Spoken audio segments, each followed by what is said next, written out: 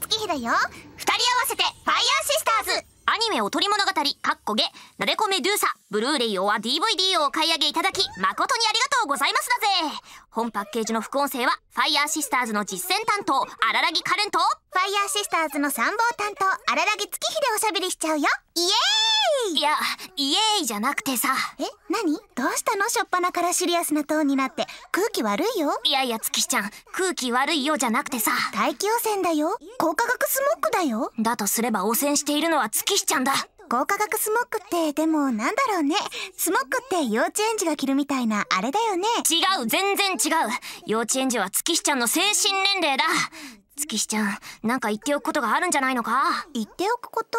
はて何でしょう？どうして自分が副音声に呼ばれたのか分かってるだろ？そりゃ決まってるじゃない言わずもがなだよカレンちゃん。まあまあ分かってんならいいんだけど。自分で言うのは照れくさいけれどあれでしょ？月日ちゃんは人気者だから呼ばれたんでしょ？お姉ちゃんパンチ！お姉ちゃんパンチ！を食らった！お姉ちゃんキックも食らいたくなければ反省の弁を述べろ。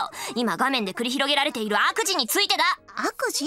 この仲良しガールズトークのことを言ってるの？仲良しガールズトークって。なでこちゃんも楽しそうじゃない。明確に迷惑そうじゃねえか。やだなカレンちゃん。これはありがた迷惑ってやつだよ。迷惑なんじゃねえか。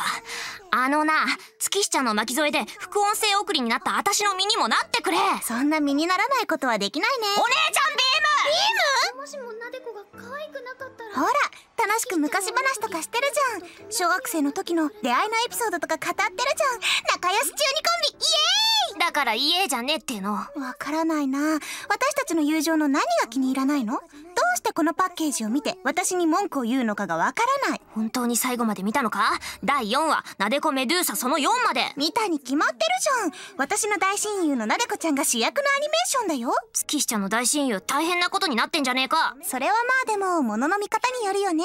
もちろんアニメなんだからいろんな人のいろんな見方があっていいと思うけれど私としてはなでこちゃん神様になれておめでとうって思ったね。ハート強すぎるだろ。むしろなでこちゃんからお礼を言われてもいいくらいだと思ってる。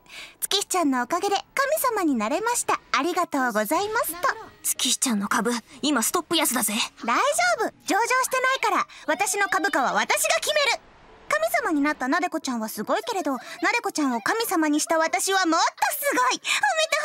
キャーって言って。お姉ちゃん頭月えー、ではここで視聴者の皆様にお詫びとお知らせです。すでにお察しの通り本副音声では私の愚昧が多少お聞き苦しい振る舞いをする可能性があります。血のつながった姉として私ができる限りのお目付け役を務めますので何卒寛大な心で見守ってもとい聞き守っていただけると幸いです。気苦労が多いねカレンちゃんも。誰のせいだと思ってんだ？まあでも、ファイヤーシスターズでの副音声も久しぶりだから、そういう意味ではなんだか上がってこない？上がってこねえよ。出番ないのに呼ばれたんだぞ、私。そうやって手のかかる妹に手を焼かされる姉みたいなふりをしているけれど、カレンちゃんだって普段は大概じゃない？私はここまでじゃねえよ。バーカ。バーカってこんなこと言わないもん私。言いそうだけどな。カレンちゃんだってこんなうじうじして自分の殻に閉じこもってる友達がいたらカッパするでしょ？カレンちゃんだったら予告せずに殴るでしょ？お姉ちゃんパンチを繰り出すでしょ？まあ確かに殴らないとは言えないな。私が可愛くなかったら友達になってくれなかったのかな？とかどんなアピールだと思うでしょ？そんなムカつくイントネーションで言われたらセリフの途中で殴るっつうの。月日ちゃんが可愛くなかったら友達になってくれなかったけお姉ちゃんパンチ妹ガード妹ガードが突き破られた。妹ガード脆すぎるだろ。全然戦えないのな月日ちゃん。だから参謀担当なんだよ。アルスラーン戦記で言えばナルサスなんだよ。ナルサスは戦えるわ。あと参謀としても月日ちゃん。ナルサスの足元にも及んでねえからな。どっちかっていうと月日ちゃんギーブとかラジェンドラとかそっちの方だから。ラジェンドラはいいよね。共感すんな怖い顔出しよ月日ちゃん。これはでも私のせいじゃないでしょ？アニメの演出効果でしょ？制作サイドからも嫌われてんだよ。だから月日ちゃん愛情のない演出されちゃってよ。制作サイドからもって視聴者から嫌われてることを前提にしないで。違う違う。それを言うならみんながなでこちゃんのことを好きすぎるんだってあれでしょ？私が何をしたから何を言ったからとかじゃなくてみんななでこちゃんのことが好きだから月日ちゃんのことが嫌いなだけでしょ？それで責められても正直直納得はできないよね。まあそういう側面は確かにあるかも。でしょ？私も確かにどっちかっつったらなでこちゃん推しだしな。おい！オープニング！プラチナディスコちゃんちゃんちゃんちゃんちゃちゃちゃ！あれ？プラチナディスコじゃないや。そりゃそうだろう。なんでこのタイミングでプラチナディスコが流れるんだよ。だって私のアップから転換したんだから私のテーマソングが流れそうなものじゃない？じゃあない。じゃあないか。じゃあこれはどこの誰の曲なんだろうね？なでこちゃんの曲に決まってんだろタイトルは「妄想エクスプレス」だ。そのタイトルウケる。なでこちゃんにぴったり私は心配だよ月日ちゃんの将来が。なんで？私くらい将来のビジョンがはっきりしてる女子はなかなかいないよ。月日ちゃんの将来のビジョン？あー聞きたくもねえな。聞いてよ。聞きたくもないって。妹に冷たすぎるでしょ？ファイヤーシスターズの相方だよ。じゃあ聞くけどさ相方は将来何になりたいの？あやめさん聞いた5秒を返せ。ー冗談だよ。そうだね。将来はなでこちゃんみたいに愛される人になりたいね。重いな。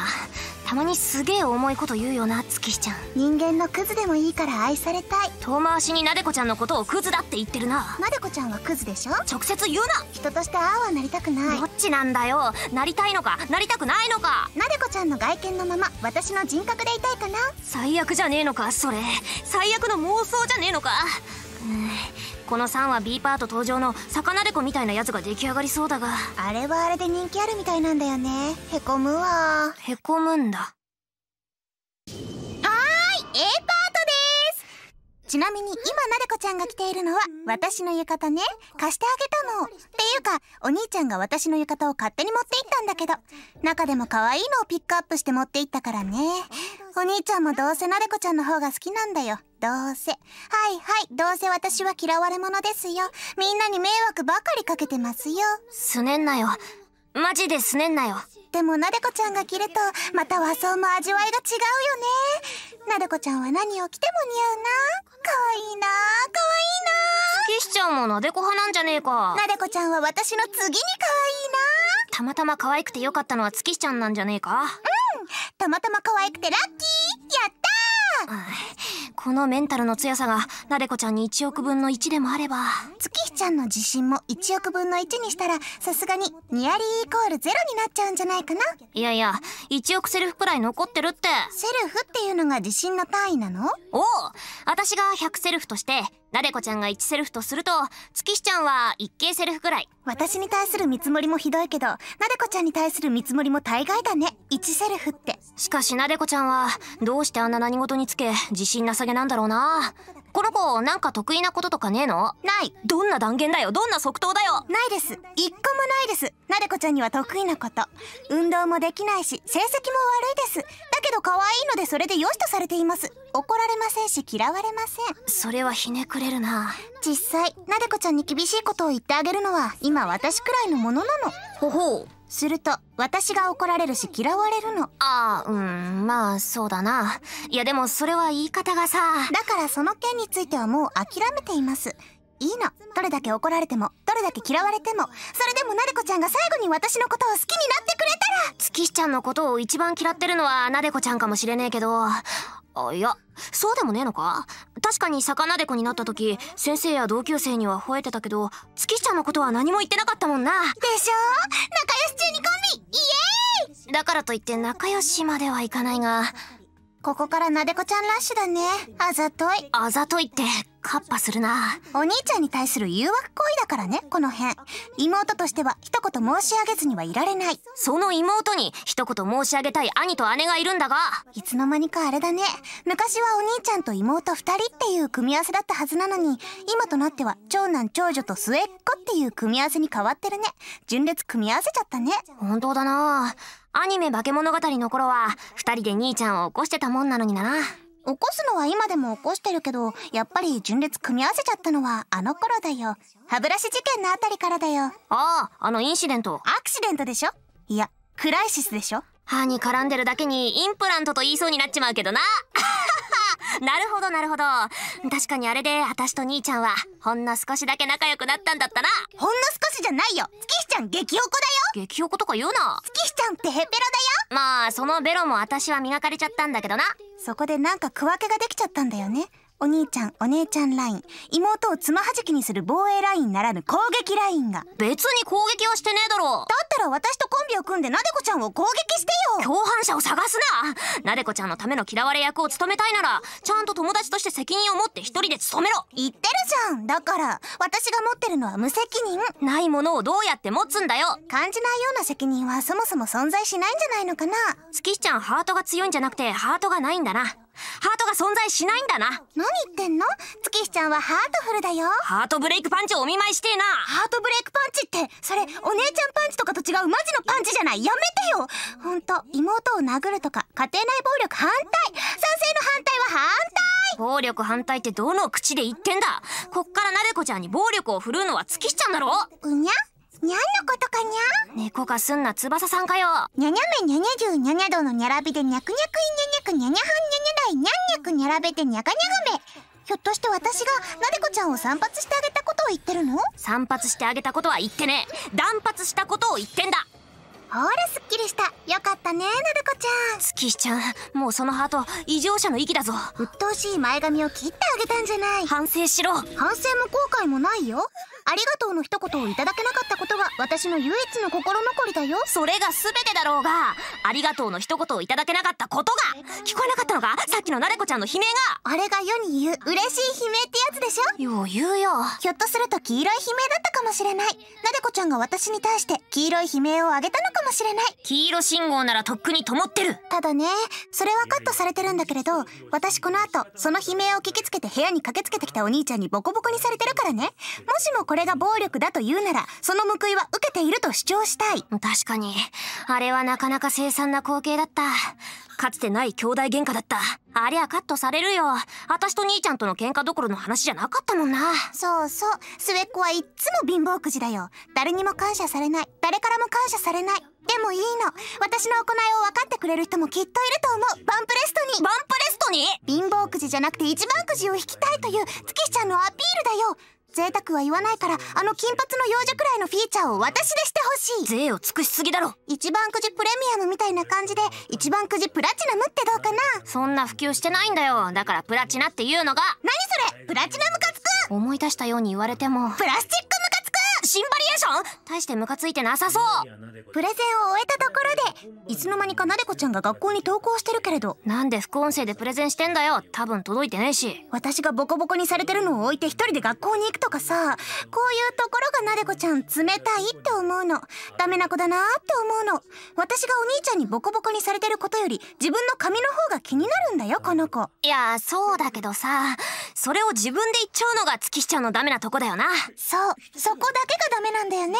そこだけが私の唯一の歌詞だ。いやそこだけじゃない。髪も言うほど変になってないじゃん。髪は私がその後を揃えてやったんだよ。えそうなの？後で巻き戻して確認しろ。月日ちゃんが切った直後はマジで変になってるから。月日ちゃんがボコボコにされている間に私が洗面所でなでこちゃんの前髪を揃えてあげてたの。妹がボコボコにされている時にカレンちゃんなでこちゃんの髪を揃えてたの？それはどうかと思うな。身を挺して妹を兄の暴力から守ってよ。やだよ。あんな怖い兄ちゃんの前に立ちたくねえよ。月日ちゃんの自業自得じゃねえか。それを言ったらなでこちゃんだって自業自得だよ。自業自得ってほどの何かをしたのかなでこちゃんは。画面を見る限りしてなかったように思うけれど。してなかったのが問題なの。可愛いだけで何もしてなかったなでこちゃんに私が引導を渡してあげたの。確かに何もしなければ周りに責任を押し付けられるかもしれないけれどそんな人生いつまでも続けさせないっての。私に関わったのが運の月だと思いなさい。怖いよ月ちゃん。あそろそろ魚でこのシーンか。魚でこきれこちゃんのシーンね。ただこのピーキーさには何か覚えがあるんだけれど。ひょっとして月日ちゃんがモデルなんじゃねえの？うっせんだよ。このセリフが出たってことは A パート終了だね。なでこちゃんの変遷をメルクマールにするな。A パート終了。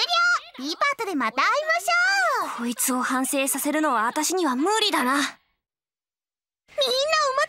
B パートだよ。そんな明るいノリなのか？ノリノリですイエーイ坂なでこちゃんって前髪も変わって目つきも変わって誰だかわかんねえよなもう。目をそらしちゃダメ。これだってなでこちゃん。私は友達だからこんななでこちゃんだって受け入れます。っていうか私との会話の中でこういうなでこちゃんを見せてほしかった。このなでこちゃんと蝶々発し意見を戦わせてみたかった。それはあるべき機会だったかもしれねえな。今日初めて月ちゃん建設的なことを言ったな。今日初めてなんだ思うんだけどさ兄ちゃんと再会したことってなでこちゃんにとって決してプラスになってないよな。そのせいで月ちゃんとも休校を温める羽目になったんだから。羽目とか言わないでよ。羽目を外したなでこちゃんの場面なんだから。羽目を外した場面だから羽目って言わない理由になるかただ失念してほしくないのは視聴者の皆さんも今お手元にアニメ化け物語のなでこスネークのパッケージがあれば確認してもらえると思うんですけどお兄ちゃんはなでこちゃんのことをすっかり忘れてたんだよ。ちなみに私は覚えてました。それを主張されると兄ちゃんは弱いとこだろうな。私はそもそもあんまりなでこちゃんとは接点なかったんだけど。カレンちゃんアウトドア派だったからね。あ私の好きなセリフが出るよ。ご清聴ください。ご清聴くださいって。せーの喜べボケいい。喜べボケ。喜ぶなボケ。なでこちゃんに言わせちゃダメなセリフだろ。だからその考え方が良くないんだって。なでこちゃんに可愛さを押し付けないであげて。可愛いから友達になったやつが言うなよ。それはただのきっかけ。ただの第一印象。それで言うならもっと色々言えるよ。同じクラスだったから友達になったとか。同じ学年だったから友達になったとか。同性だったから友達になったとか。席が近かったから友達になったとか。家が近かったから友達になったとか。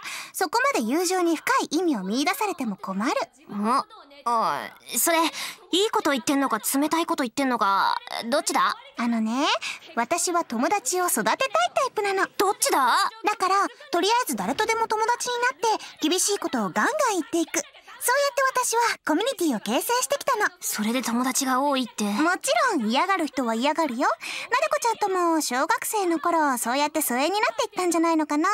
私よりも甘やかしてくれる人の方に行っちゃったのかな。笑えねえな。ただなでこちゃんみたいな人間は必ずしも厳しいことを言ってくれる人の近くにいたらいいってもんでもないんだけどね。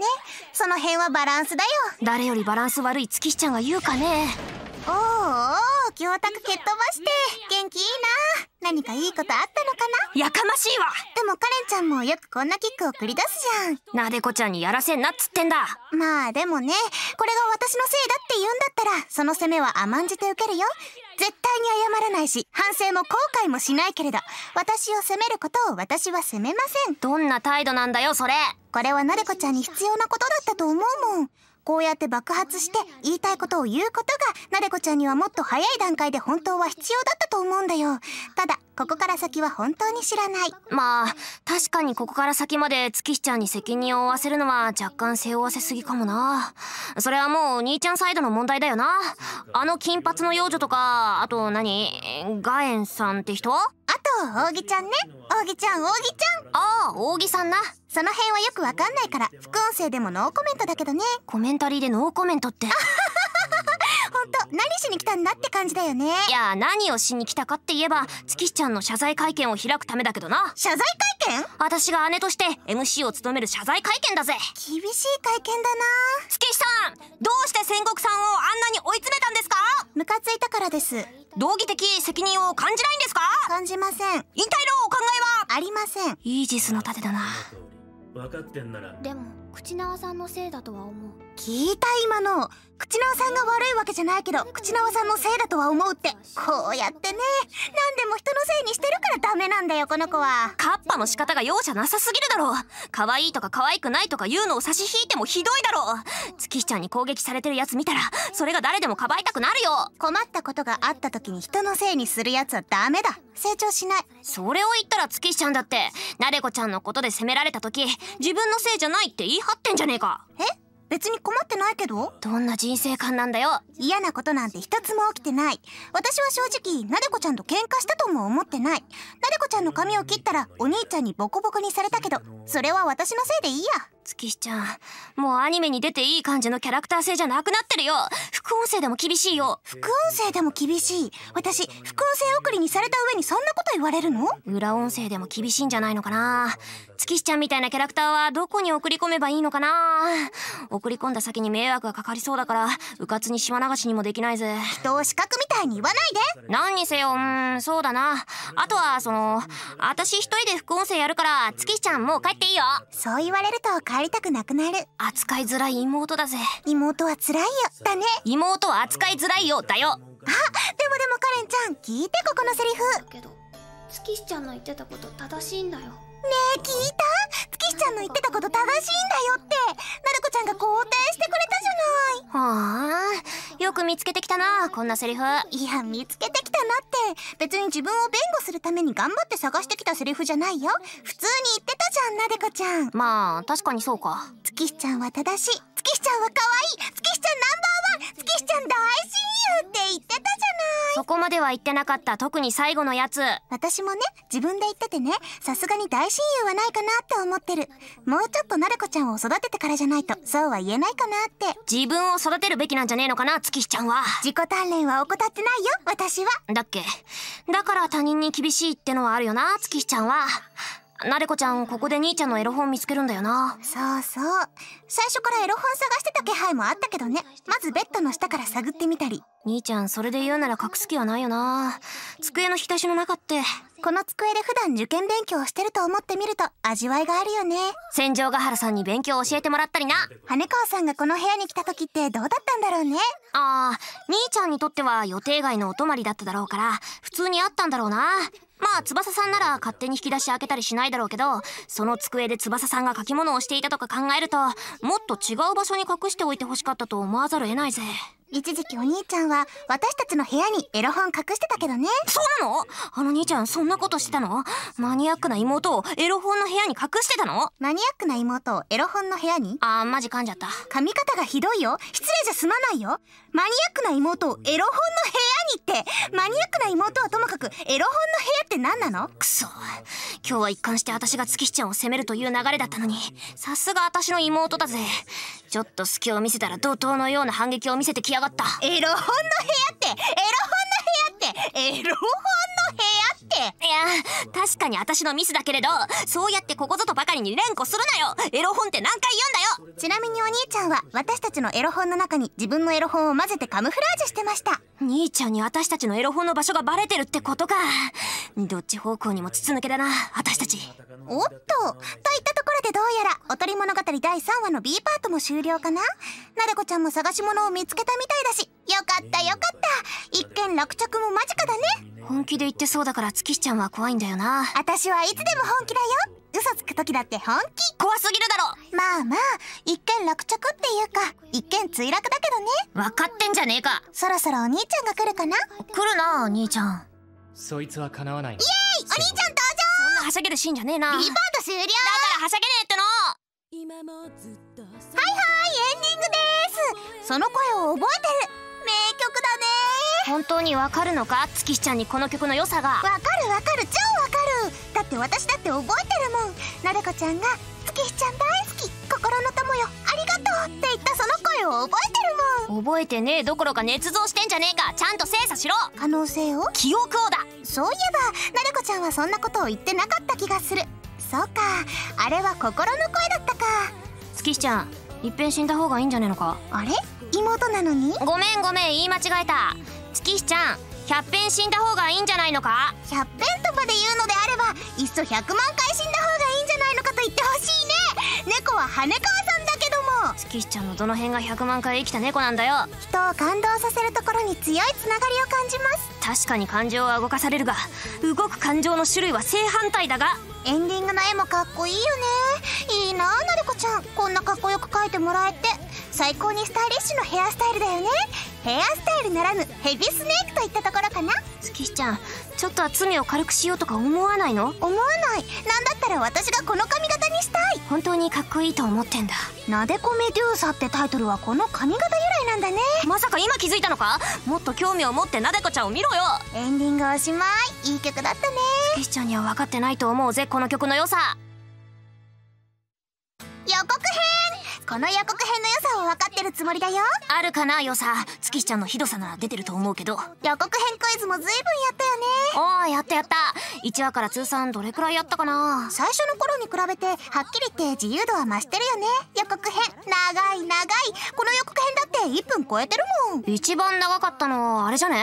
このおとり物語の第1話についてる予告編じゃね？食塩水がどうってやつ。そうだっけ。一度やったことはよく覚えてないな。その声を覚えてないどころか自分の声さえ覚えてねえのかよ。この予告編では私は何を言っているのかな？どんな予告編クイズを出してるのかな？情けは人のためならずって言ってる。あーあれか思い出した思い出した。思い出せなかった時のリアクションじゃねえか。本当に思い出したんだってば。妹のことを信用できないなんて情けないな。妹にかける情けがねえんだよ。続いてはなでこメデューサ第4話。最終話だね。お後はよろしくなってるかな？それは確かに同じこと言ってんだけどさ。続くここまでソース感を食らってなんでそんな元気でいられるんだ？